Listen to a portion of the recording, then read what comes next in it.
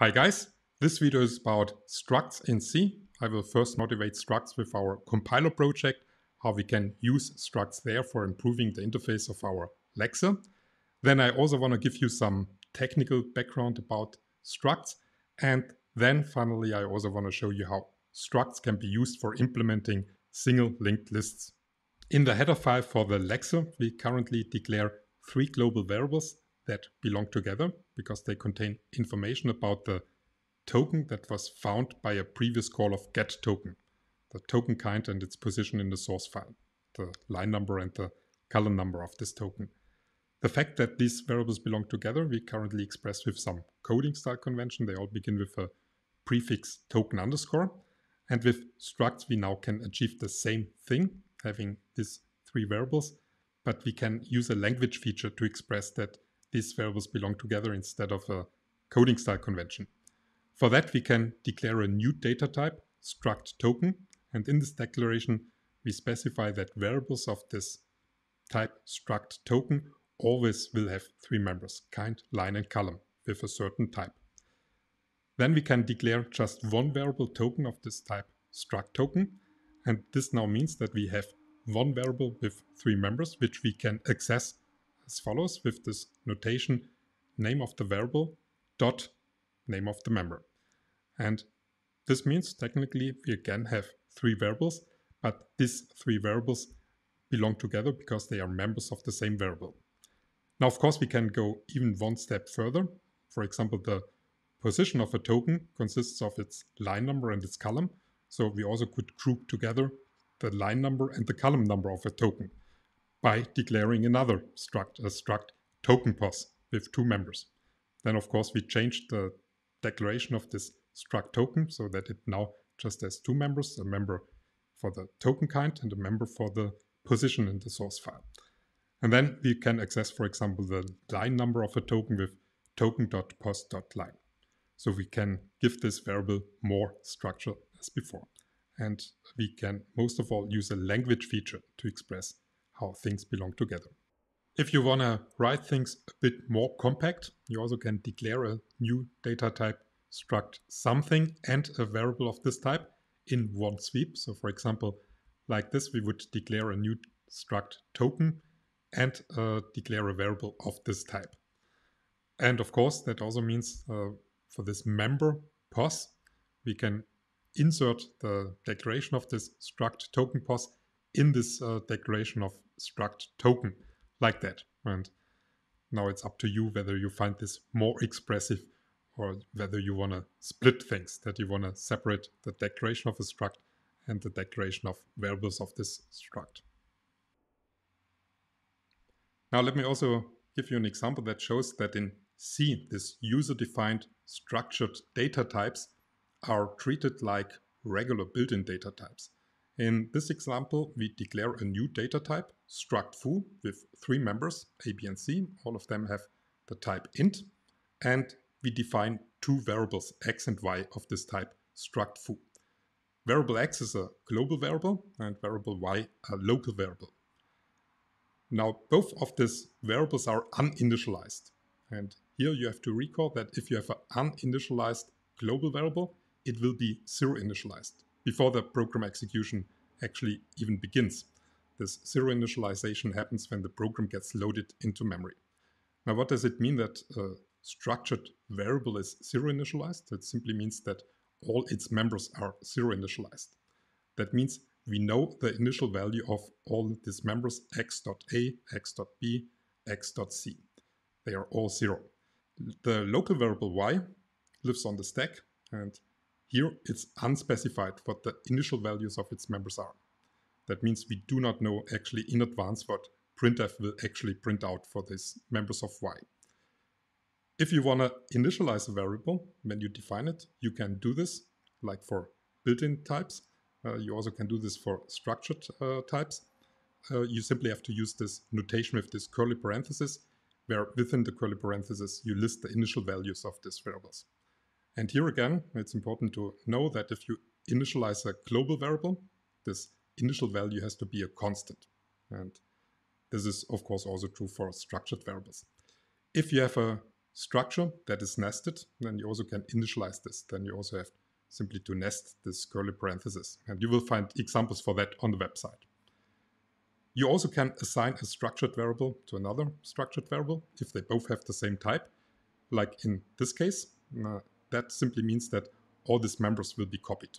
And this, of course, now means that uh, when you print out the members of y, you actually print out these initial values uh, of x.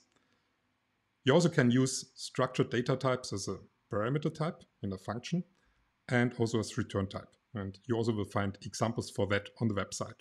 Here it's in particular important to recall that in C, function calls are called by value. That means the function receives a copy of its parameters.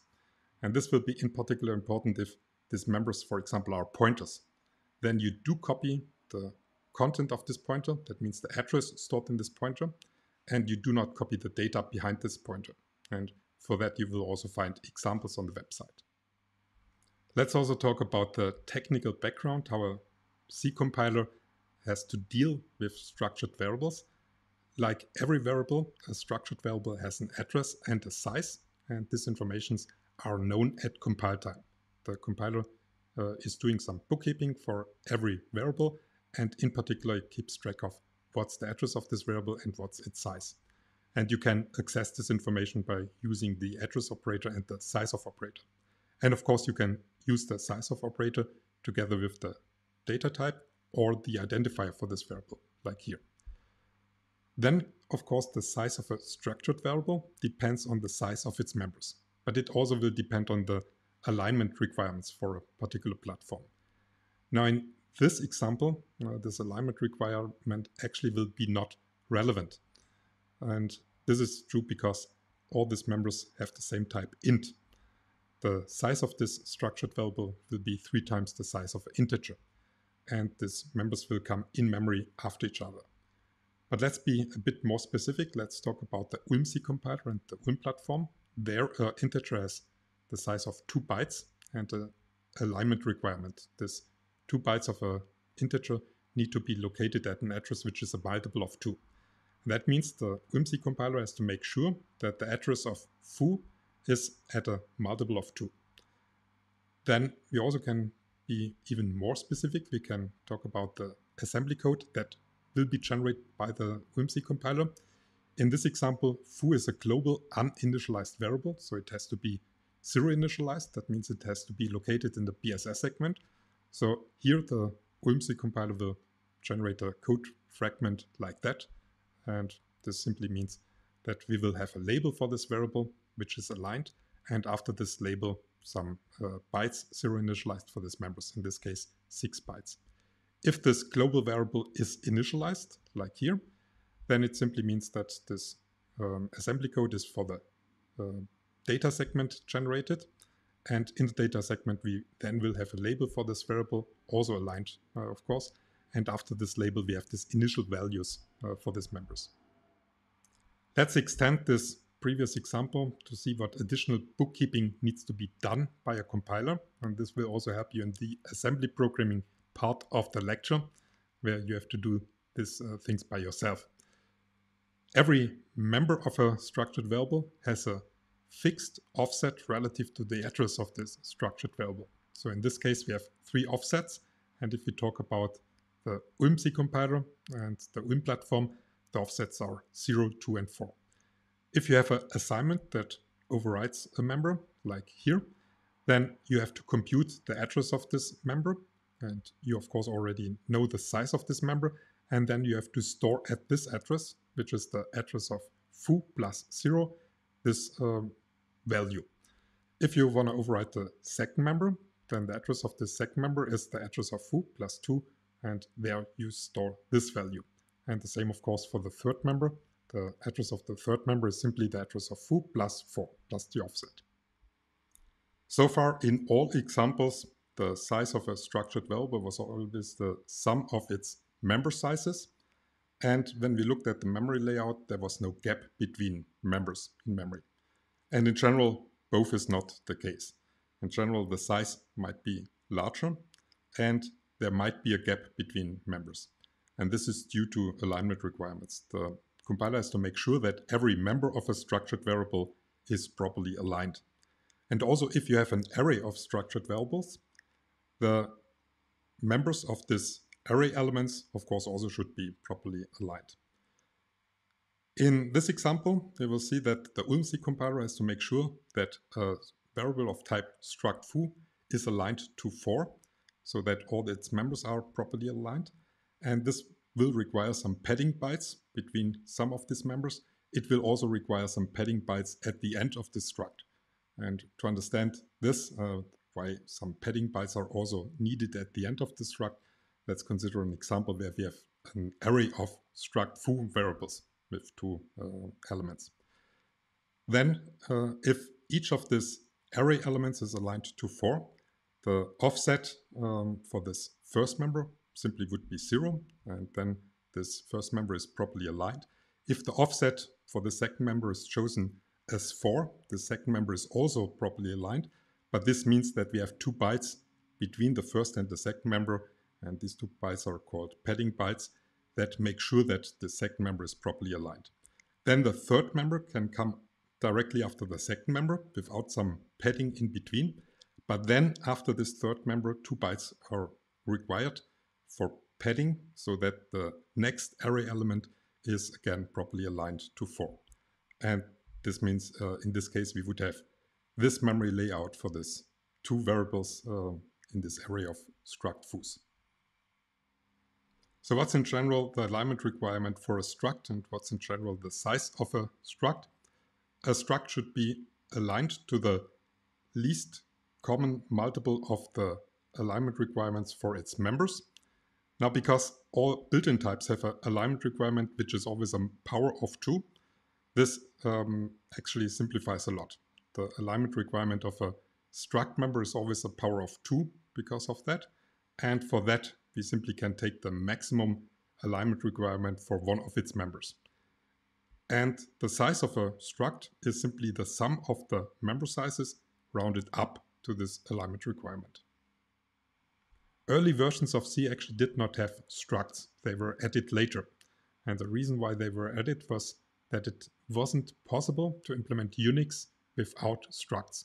I will insert here a clip from an interview with Ken Thompson, the inventor of Unix, where he first talks about why a higher language compared to assembly was required for implementing Unix, why he failed to implement Unix with first versions of C, where structs were not um, there, not available, and how he then asked the guy, the inventor of C, one of, one of his colleagues, to add structs to C to make it possible for him to actually implement Unix. Enough. Uh, at this point, uh, time had gone on, and we now had a PDP-11, and we started getting more memory for the PDP-11 so we could think about expansion. And we decided that we had to write Unix in a higher level language. It was just mandatory. This was all assembly language until then. So he started muting um, into C uh, uh, with the, the, the big deal was types. He put types in, in B. B and, B and the old, old C were very, very similar language except for all the types. Uh, B only had words. You load, store, add, everything was words. And the PDP-11 was bytes. So something had to be done to not waste a factor four on, on it. So anyway, I, long story short, all by himself. He converted that, made C. I, I then tried to rewrite the kernel in C, that, you know, whatever this current language was, which was called C, and uh, failed three times. Three total complete failures, and uh, uh, being, um, I, basically being an egotist, I blamed it on the language. so, so he'd go back and, and beef up the language for something. And then finally, when structures came in the way that structures did come into the language, which was completely outside of B, B had nothing resembling structures. Uh, uh, the port to Unix of C on the PDP-11 worked. You know, it was, before that it was too complicated. I, I just couldn't keep it all together. And uh, so then there was as, uh, the first C version of Unix. And, uh, and C became a pretty, you had something to do with C, didn't you? no, I had nothing to do with C. I twisted a guy's arm into writing a book, but that's the extent of my job. um, okay, um, shifting gears a bit, you, you started life as a, or some part of it, as an electrical. So structs literally were hacked into the C programming language in a way that also reflects how structs were handled in assembly programming. From a struct declaration like here, the C compiler was generating some EQ directives for the offsets of its members. And if you then have a member, for example, on the left-hand side in an assignment, the assembly code for that would first load the address of this struct into a register, and then these symbols for the offsets would be used as a displacement, like here, for the store instruction. And this, of course, has the consequence that you cannot use the same identifier in a different struct, because then the offsets are in general different. So there was a limitation for that. What you had to do is you had to use some prefix for each member, a prefix that is somehow coupling the members of a struct to the struct itself. For example, if the struct was called uh, struct foo, you could use the prefix f underscore or foo underscore. And then, of course, things still would work.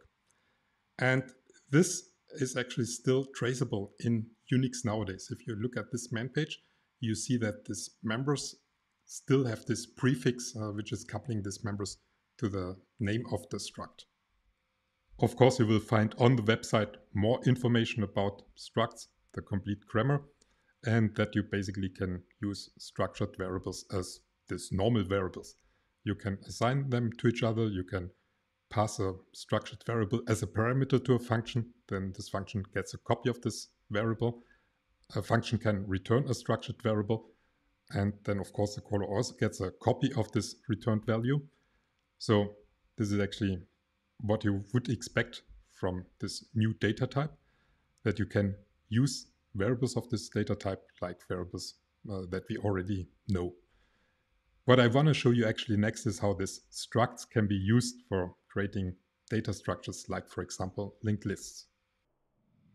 The key for this data structure linked list, or in this case actually single linked list, is a declaration like this here for a structure with, for example, two uh, members. And the important thing is that one of these members is a pointer to a structure of the same type that we are currently declaring. And C will allow that to use already this type that wasn't completely declared so far because we're just using this member to store an address of this type. So that means for the compiler it's already clear that this member has a certain size, the size of addresses on this platform that it supports. In our case, for example, 8 bytes. And it can compute all these offsets and this type information will become clear after this declaration is completed. So this will be allowed. Mm. Now I can define a few variables of this type. And that will mean that I will have some variables in memory, in this case in the BSS segment, zero initialized, because uh, these are global variables. And now I want to initialize this uh, structured variables A, B, and C. And of course, this member ID stands for identifier, and this member next uh, is supposed to point to the next element in a list. But let me show you how I will initialize this step by step so that you actually see that uh, meaning of a next pointer inside of this uh, structured variables. I want to initialize this ID field, uh, similar to the name of this variable, just by using the characters A, B, and C. So I want to have the following in memory, and for that I will use these statements in the function main. And so this is easy to accomplish. Now, in the end, I want to have the following. A should be the first element of this list, and its successor should be B, and the successor of B should be C, and C should be the last element of this list. Now, to achieve that, I will first change A.next into a pointer to B. And For that, I simply have to store the address of b in a.next because pointers are just addresses stored in variables. So that's it. And then of course I want that b.next points to c. So I store the address of c in b.next. And to express that c does not have a, another successor, I somehow have to indicate that c.next does not contain a valid pointer. And for that you need some convention. And the convention in C is that a null pointer indicates this is an invalid pointer. And that means with that we have accomplished it to have a list with first element A and it's somehow linked to the end and the last element is C. Now this is certainly not a technique to in general deal with lists mm, because you have to predefine all these list nodes uh, in the BSS or data segment. But basically you will see this is the idea. And once we have dynamic memory allocation, we can generalize it. Let me briefly outline how in general we will set up data structures for implementing linked lists. For the data that we want to store in a linked list, we will declare one struct, like here for example a struct list element. And if we, with this more general pattern, would like to realize this special case from before, this struct then just would have one member, a member ID of type character. And then we will have a, another struct for the list nodes. And this always will have the same pattern. It will have two members. First, this member next with a pointer to the next list node and a member with the data that we want to store. So this member element. And if we want to actually realize this special case from before with global variables for the list nodes, then we exactly would do the same. We define three global variables and then we just have to do some minor modifications for setting the data in this list. Let me also show you what you actually have to do in the next assembly programming assignment. Basically, I will show you here the implementation in C and you just have to do the same in assembly. So it's kind of a cheat sheet. First, you have to set up the example from before. So this should not be too difficult. But then you also have to implement a function for printing a list. That means um, the declaration for that is now shown here. This function print list gets a pointer to a list node and you call it from function main with a pointer to the first list node. And then of course in this case it should print A, B and C. And actually in the assignment, you also should print in addition some new line after that, so that we have some nice output. And now, of course, the question is how to implement such a function, print list. And I just show you the C implementation for that. So this is the implementation of this function print list in C. This function has one parameter, a pointer to a list node. And because we call this function from function main with the address of A, this parameter list node will point to this list node A. And then we have this for loop without an init clause. That means we right away just check the condition of this for loop. Should we enter the loop body or not? If list node is zero, we will not, and otherwise we will. Now, because list node is just storing the address of some variable in the BSS segment, it certainly will not have the value zero. So we will enter the loop here. And then we have to understand this expression where we dereference first the pointer. And dereferencing this pointer means that we actually now talk about what is at the end of this pointer. That means this list node itself. And this is a struct, so it has members. And here we fill print the member ID of this list node. That means we print the character A. And then we have this update expression in the for loop, which comes next. And here we simply override list node with the value stored in the current node in the member next. That means after that, list node will point to the list node B. And then we again just repeat things. We first check, is list node now a null pointer? No, certainly not the case. That means again, we enter the loop body. That means again, we print the stored element. Then again, we will update. That means now list node points to this node C. And then again, we check is this the null pointer? Also not the case. So that means again, we enter the loop, we print again the element, then we again update list node.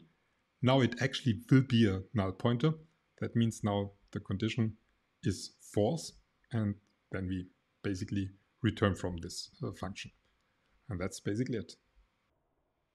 That's almost it for this video. I just want to point out again that on the website you find more information about structs, grammar related to structs, and most of all, some use cases, um, how you can take advantage of that for having a more expressive code.